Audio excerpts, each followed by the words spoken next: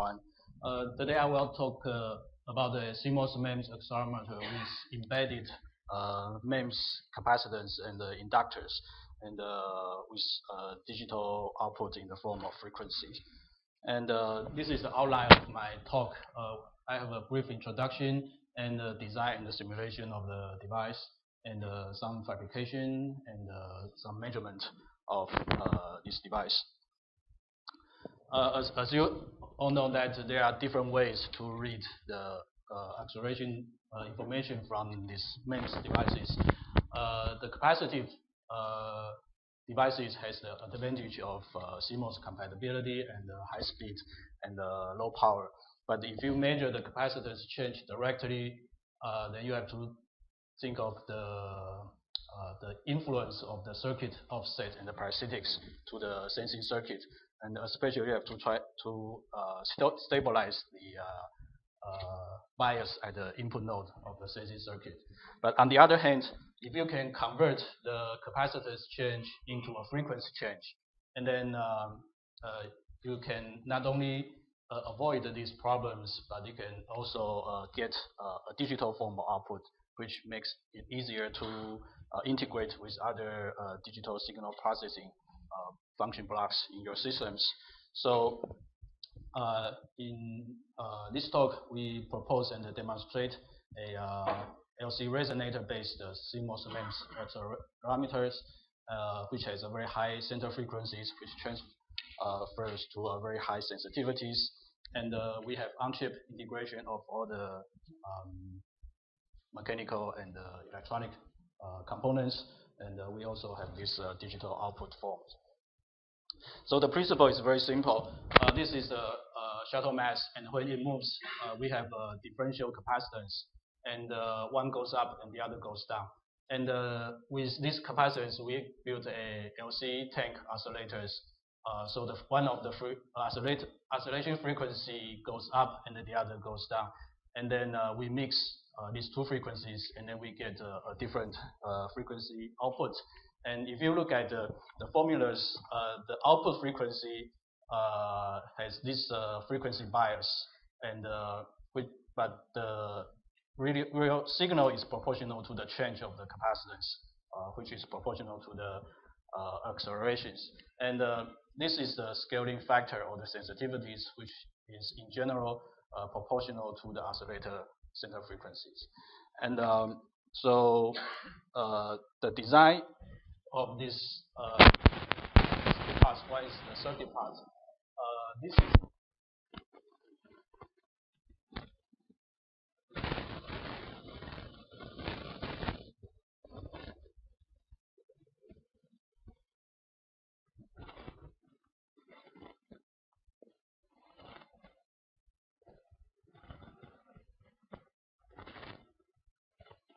the output is the oscillator, mixed oscillator uh, frequencies.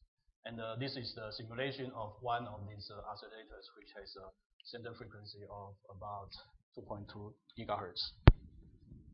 And uh, the sensor part, uh, this is the moving part of the sensor. Uh, this is the mass, and these are the springs, which is very typical. And in the moving mass, we have embedded a MEMS inductors and uh, together with the uh, comb drive fingers, it forms the LC of the LC tank oscillators. And uh, we have two of these, and the design is such that when the mass moves in these directions, say C1 goes up and then C2 will go down uh, with respect to the moving mass, which is not shown uh, on this uh, figure. And the inductor is on the top metal layer, which uh, has an inductance of about 4 nanohenry at the oscillation frequency. And the capacitor is made of a stack of all the metal layers. And uh, this is the overlap length and uh, has a minimum uh, gap of 4 microns. And we calculate the uh, capacitance uh, to be about 256 femtofarad. And from the finite element simulations, um, the uh, change of cap capacitance at 1G is about 8% uh, of the uh, original uh, capacitance. So uh, we also make sure that uh, the fundamental mode is in the sensing axis along here. And so this is a processing of this device. we use TSMC 0.18 micron 1P6M CMOS process. And uh, after we get this from the chip, uh, there is a photoresist uh, photolithography to define the the move, uh, move, moving structures. And then after this, uh, first uh, there is a SiO2 dry etch. I'm sorry, this should be anisotropic SiO2 dry etch, and then there's a isotropic silicon etch to release the device. Uh, and this this uh, process uh, is basically offered by the CIC in Taiwan, and it, it, according to these publications. so this is the fabrication device. This is a micro optical microscopic view, and you can see that this is uh, master synthesis first oscillator, and uh, this is the second oscillator. And the output of the oscillator goes to the mixer over here.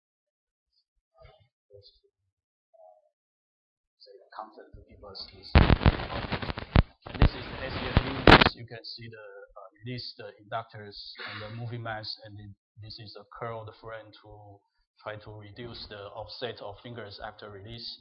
And these are the closer views of the fingers and the, the springs.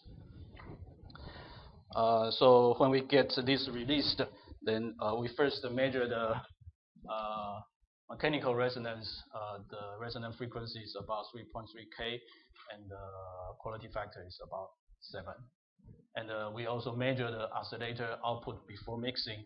Uh, they are at about 1.9 gigahertz, which is close to the simulation. And uh, so we, after we make this, we can measure the, uh, we, we, can make the acceleration test uh, by taking the mixed signals to a counter and get the either the counts or the frequency of the, the, the, the signals. And uh, this one is static measurement, so we mount the device on the turntable and then rotate that from uh, uh, 0 degrees to 360 degrees. So basically it is from uh, say plus 1G to minus 1G to plus 1G. And we can fit the measure the output frequency to these model equations. So the K, the first term is uh, the bias frequency somewhere over here, and K1 is the uh, uh, scale factor or the sensitivity of the device. And these are some nonlinearity or cross coupling or uh, angular uh, misalignment. So we can you can see this uh, fit quite nicely to this model, and all the these coefficient non-ideal coefficients are relatively small compared to the sensitivity factor.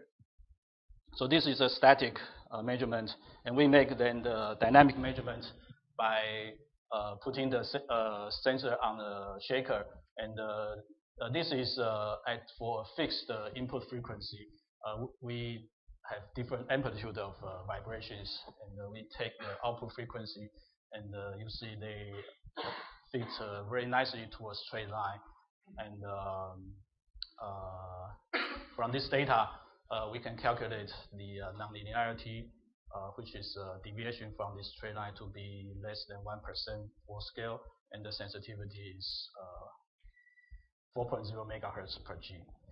And uh, also, because it's a dynamic measurement, we can take the time signal from the, the sensor.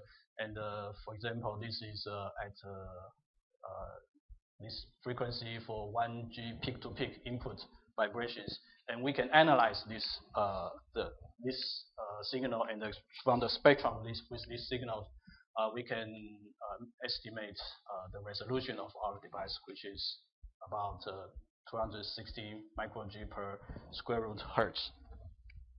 So uh, uh, from this measurement, we can, uh, so this is a table uh, that compares our devices with some other devices. And these two uh, publications are earlier publications. They are made of uh, mechanical resonators, double-ended tuning fork resonators. Uh, so because it's a mechanical resonance resonator, it has a lower resonance frequency, so the sensitivity is lower. Uh, this is a newer, more recent publications. Uh, they use a bonding wire inductor with on-chip capacitance. but probably because the, the, the, the, inductance of the bond, bond wire does not change significantly, so they do not have a very large uh, sensitivity compared to ours. So, uh, so that's uh, the advantage of this this device. So to conclude, uh, we have demonstrated a CMOS MEMS accelerometers with integrated uh, oscillators and integrated uh, capacitance and inductance. And okay, this is made of CMOS and process, standard CMOS process and the dry etching post processing. And these are the performance uh, of these devices. Uh, the sensitivity is very large. Uh, we get a 4 megahertz change of frequency per G. And right now we are trying to complete our measurement of the phase noise and also uh, try to improve the uh, resolution of this device. So that's uh, about our device. Uh, thank you very much.